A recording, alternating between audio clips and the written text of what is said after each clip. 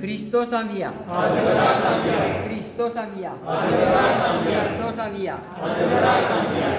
În numele Tatălui și al Fiului și al Sfântului Duh. Amin.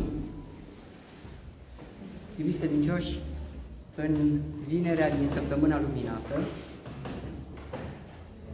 ne-am adunat ca să marcăm un moment care are un început istoric, dar a intrat atât de profund în tradiția ortodoxă, încât uh, parcă este o oază de lumină într-o mare, deși mai mare lumină. Este un punct de culoare într-un tablou frumos al învierii, izvorul tămăduirii. Este o sărbătoare închinată Maicii Domnului și punctual uh, unei minuni pe care aceasta a făcut-o la început cu un orb, apoi cu Leon Împăratul și cu foarte mulți care și-au primit vindecare. Pentru că la început această minune a vindecărilor legate de izvorul tămăduirii au fost făcute cu un orb care și-a recăpătat vederea în timpul viitorului împărat Leon al III-lea, care, mergând printr-o pădure, l-a întâmpinat un orb și l-a rugat să-i dea apă că e sete. Și acum, viitorul împărat, pentru că nu era încă uns pe tron, s-a dus și a căutat. A mers și a mers și și-a dat seama că nu are de unde să găsească apă. Și s-a întors. Pe drum însă, la întoarcere, a auzit o voce. Dar de ce nu mergi puțin mai la adânc? Vei găsi acolo un izvor. Vei găsi un izvor tulbure, dar să iei apă, să-i dai orbului și după ce bea apă, să-i atingi și cu ce ți-a rămas după ce a băut apă din acest izvor, să-l atingi pe ochi și va vedea. Și într-adevăr așa s-a întâmplat. Când a ajuns împărat, a zidit pe locul acela o biserică, a dăinuit acea biserică până în 1453, când a căzut Constantinopolul și cu ea, inclusiv cartierul Barichioi în care se afla respectiva biserică. Este un moment în care să ne dăm seama ce înseamnă vindecare.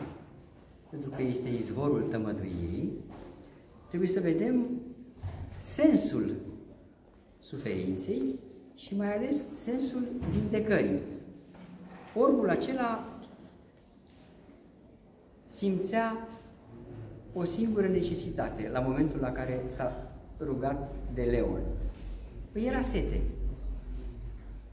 Păi era sete, nu s-a văietat că nu vede ca să-și caute singur apă, înseamnă că își asumase calitatea de orb. Vindecarea vine numai atunci când ne asumăm situația în care ne aflăm. Vindecarea nu este obținerea unei comodități. Trăim într-o lume în care suntem foarte, foarte dependenți de comoditate. De la simplul gest că nu mai notăm într-o agendă cu mâna numere de telefon, până la a nu mai deschide o carte să găsim o anumită temă și suntem la un clic distanță de năzdrăvăria scrisă de altul, dacă nu știm să verificăm, putem să o luăm rara fără nicio problemă. Aceasta este lumea în care trăim, dar nu trebuie să ne supere lumea aceasta. Pe mine mă supără puțin faptul că nu mă lasă cineva să vorbesc. Vă rog eu frumos, dați puțin o Lăsați masa aceea în pace. Dacă se poate. Trebuie să vin eu? Pot să vin, să știți. Încă se mai aude, nu se poate. Ca să putem să ne vindecăm, de exemplu, de a ne sări țandăra, trebuie să aducem în noi liniștea. Eu n-aș fi, n-aș fi spus absolut nimic Nici nu mă interesează cine să mai foiește încă, pentru că nu o să termine. Dar mă gândesc la cei care ascultă și sunt deranjați. Eu, slavă Domnului, sunt aici, pe locul cel înalt, nu mă înghesuie nimeni, este foarte frumos. Dar până când nu ne asumăm grija pentru celălalt, pentru confortul lui inclusiv, nu putem să spunem că suntem creștini adevărați. Dar să revenim la oile noastre. Omul acela, după ce și-a ostoit setea, a primit ceva mai mult. Ceva ce nu a cerut, ceva care a venit peste așteptările lui, înseamnă că trebuie să mai învățăm ceva. În măsura în care ne detașăm de așteptări, atunci va veni vindecarea. În măsura în care nu mai suntem atât de dependenți de ceea ce credem noi că ne lipsește, atunci putem să primim vindecare. Pentru că astăzi este izvorul tămăduirii, fiecare dintre noi trebuie să-și vindece câte o neputință. Avem în noi lucruri care ne deranjează și știm că am putea să le facem altfel, dar din păcate credem că trebuie să înceapă celălalt. Sau credem că este de vină sistemul, e de vină școala, e de vină primarul, e de vină cutare sau cutare. Nu. Totul ține de noi. Acel orb își ducea întunericul prin pădure. Nici măcar nu l-a rugat pe Leon să-l ia de mână și să ducă împreună să caute apă. Și când a venit Leon cu apa, a venit și cu vindecarea. De ce? Pentru că orbul acela nu mai avea așteptarea ca Leon să se mai întoarcă. Credeți că era primul pe care îl ruga să se aducă apă? Ei, în momentul în care s-a vindecat de așteptare, i-a trimis Dumnezeu pe cineva care chiar să se întoarcă și chiar să insiste să găsească ceea ce a fost solicitat. Noi acum nu ne mai luăm de vindecarea lui orbului, ci să ne gândim măcar până în seară să fim leon pentru un orb sau pentru un surd sau pentru un mut. Și o să ziceți, unde îi găsim? Peste tot. Peste tot. Peste tot sunt oameni care nu văd absolut deloc binele, văd numai răul. Dacă vezi o, o stradă de un kilometru lungime și are pe ea un șanț, de ce vezi șanțul? Că din punct de vedere al proporției reprezintă 5-6%, dar vezi numai pe ăla. Din 10 muncitori care lucrează, unul singur e Dorel, că așa a fost el botezat și așa trebuie să meargă mai departe. De ce trebuie să-l vezi pe ăla? Înseamnă că ești orb la bine și foarte, foarte iscusit la a vedea răul. Trebuie să învățăm, măcar până în seară, să vindecăm pe cel care nu vede decât răul sau care aude numai răul. Toată lumea a fost uh, în zilele acestea uh, foarte atent la, la toate știrile unde se zicea ceva de rău. Eu n-am auzit nimic de bine, dar uh, pentru că funcția asta mea duhovnicească nu-mi dă voie să fiu un ignorant, trebuie să știu și că a început campania electorală și că e neregulă cu afișajul electoral care nu trebuie să arate cum arată acum, nu o să arate altfel nici într-o lume, să vedeți de treabă, dar trebuie să intru într-o atmosferă. Astăzi, Leon nu era împărat, era în campanie electorală. Probabil că de-aia și făcut fapta, acum mă ierte Dumnezeu. De-aia și făcut fapta. Lăsați-i să facă fapte. Lăsați-i și după aia să vă gândiți cam cum stă treaba. Dar, mergem mai departe. Să fim leon pentru un surd. Un surd ce înseamnă? Un surd era acela uh, căruia îi spui că lucrurile vor merge bine.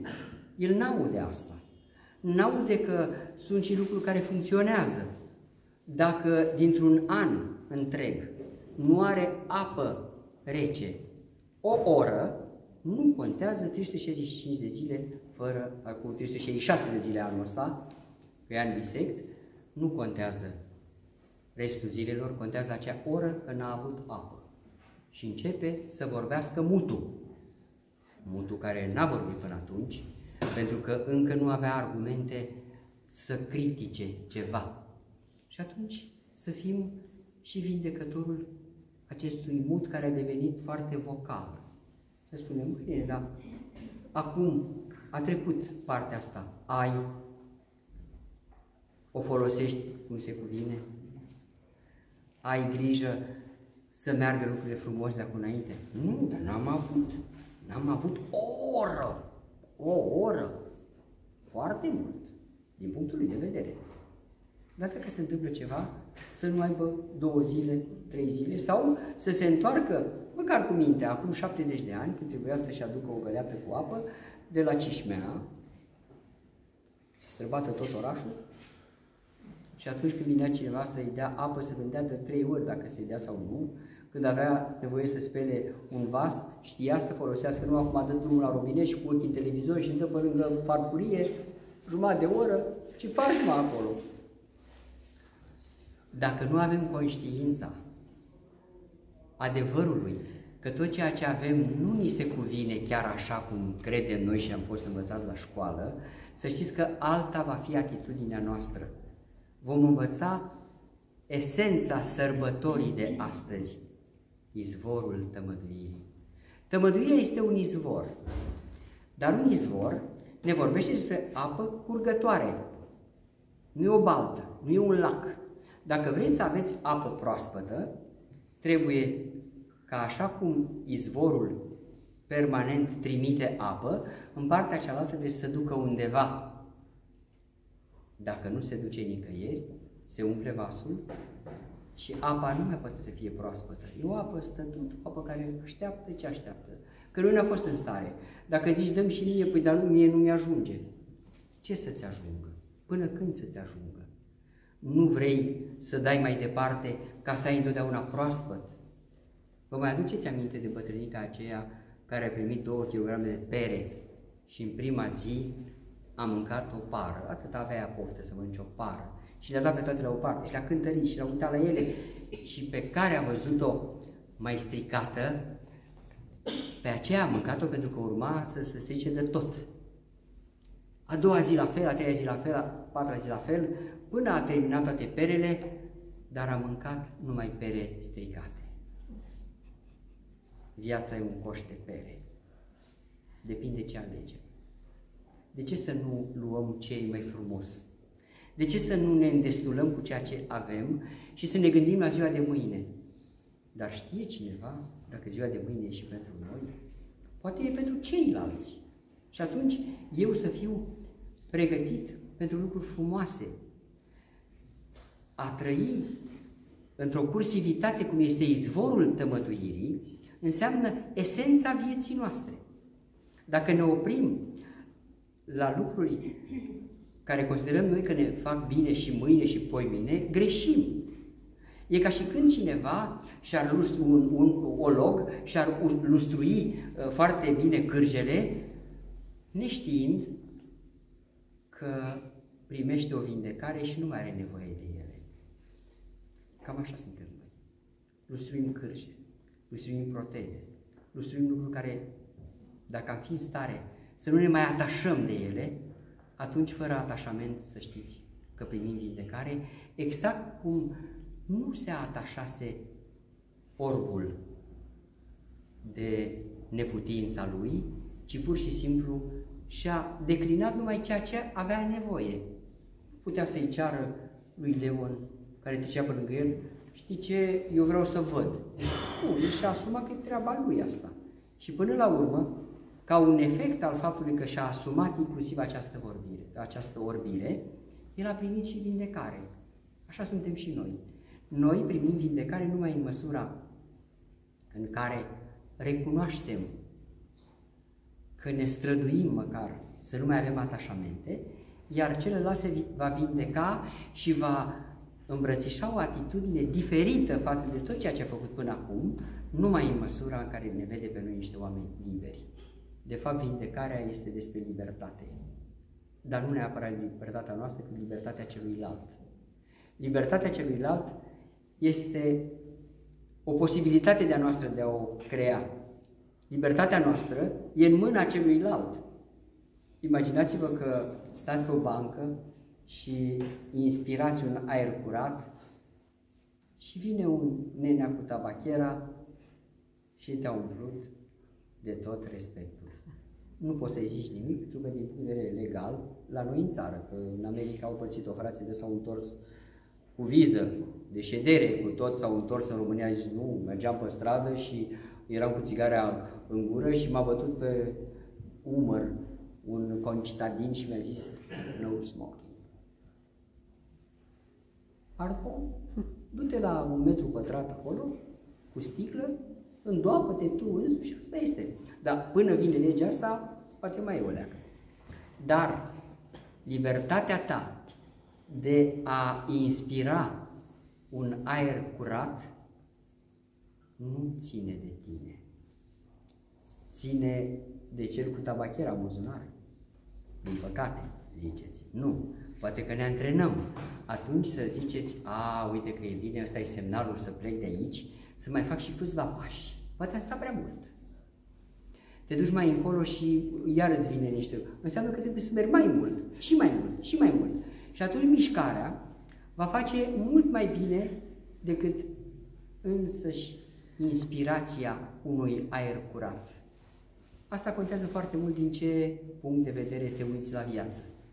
Dacă te uiți numai să-l mustri pe ăla care la un moment dat intră într-o uh, dispută cu tine, cu toate armele legale, n-ai ce să-i faci în parc, omul, asta este. Și să spui că nu e... Moralitatea nu are nicio legătură într-o discuție despre drepturile omului. Nu, asta, dacă vrea, dacă nu vrea, nu vrea, nicio problemă. Dar pentru noi, dacă nu luăm ca agresiune ce se întâmplă cu noi, ci ca pe un deșteptător care să spună, ai stat prea mult, hai, mișcă. Atunci ai câștigat ceva. Ai câștigat un antrenor, că va veni după tine doar el. Nu el, dar prin alții și trimite delegații. Și dintr-o sută, într-o sută de metri aprinde unul țigare, merge mai departe, aprinde altul țigare. Dar dacă tu nu rămâi să te cerți cu ei, mirosul de fum pe care emană ei, și îți vezi de treaba ta, înseamnă că ți-ai asumat că singurul lucru pe care poți să-l faci este să faci cu propria ta persoană. Să mergi mai departe. Asta este esența izvorului tămăduirii. Tămăduirea este lângă noi. Tămăduirea este, de exemplu, pentru cel care are insomnie. Nu o să găsească niciun medicament care să-i închidă ochii, pentru că nu e vorba de închis ochii. Este vorba de liniștea pe care creierul nostru trebuie să o găsească înăuntru, nu în afară. Nu este pe raftul niciunei farmacii sau drogherii vreun medicament care să-ți dea o pace interioară. Nu este niciun medicament care să te facă să te simți liniștit. Liniștirea se obține într-un dialog direct și dintr-un parteneriat frumos pe care îl avem cu propriul nostru creier. Se-i transmite că este în regulă. Ce e regulă? Că n-am dormit nici azi noapte? Da, este regulă. Înseamnă că nu ai obosit suficient. Hai, ridică-te. Știți care este tratamentul uh, pentru uh, atacul de panică, nu? Dacă te iau un atac de panică și începe inima și pulsul să... Așa? Începi să faci lucruri. Ce? Lucruri inutile. Speli un pahar, îl ștergi, iar îl speli, iar îl ștergi, fugi, dai cu mătura de 10 ori într-un loc. De ce? Că mintea are nevoie să știe care de lucru. Vă spun eu. Asta se întâmplă tuturor celor care mi-au ascultat sfatul și scapă și inima începe să bată normal. Pulsul se așează la nivelul lui și deja te ia somnul.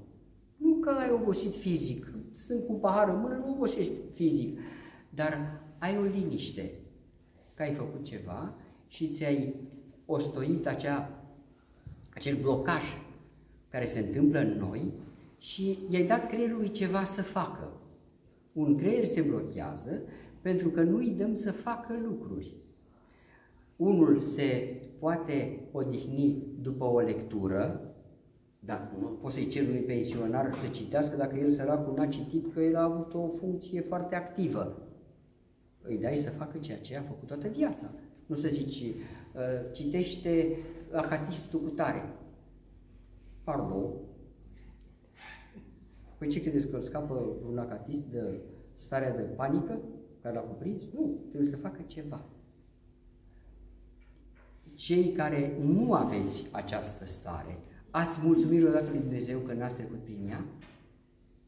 Asta înseamnă izvorul tămăduirii. Avem foarte multe lucruri vindecate, dar nu suntem în stare să facem un minim inventar a ceea ce nu avem și îi auziți pe alții că se vaită. Când îi auziți, trebuie să ziceți, Doamne, în primul rând, m-a întrebat cineva, Părinte, ce ați face dacă? Zic, în primul rând, dau sau Dumnezeu că nu e cazul. Este o rugăciune de mulțumire. Să mulțumesc, Doamne, că nu e cazul să fac așa. Dar să zicem prin uh, absurd că aș fi în locul tău, ceea ce nu-mi doresc, Doamne, uh, aș încerca să mă liniștesc. Cum? Să-i spun creierului, e, este bine. Până acum n-am avut problema asta și nu ți-am mulțumit și cred că acum mi-aduce aminte că puteam să o am de 30 de ani să mă chinui cu ea. Și încet, încet creierul începe să-ți aducă niște argumente argumente frumoase.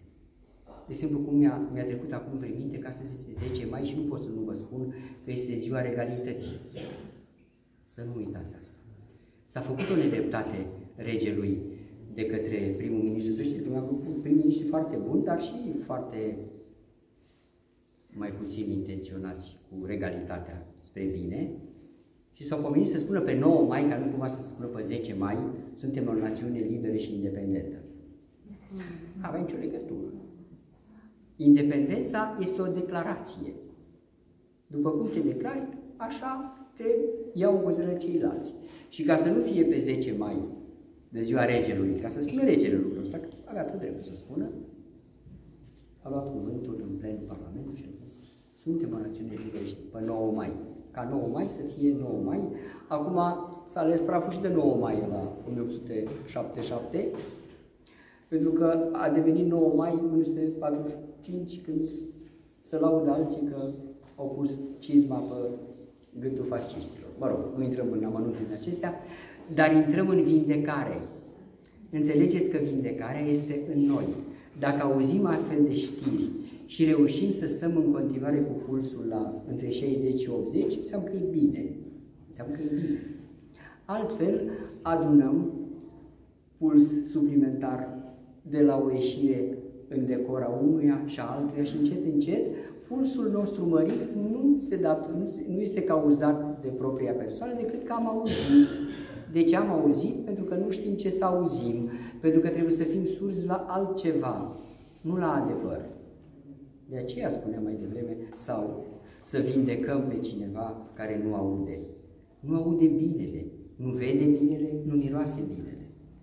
Iubiți credincioși, cred că în această frumoasă oază a săptămânii luminate putem să ne vindecăm și dacă nu avem la îndemână uh, un organ pe care trebuie neapărat să-l vindecăm sau nu avem neapărat o necesitate exactă, să vă gândiți câte lucruri aveți vindecate și alții se chinuie să le vindece și nu reușesc vă va vindeca inclusiv starea de neliniște. Pentru că într-o stare de neliniște încap foarte multe neputințe.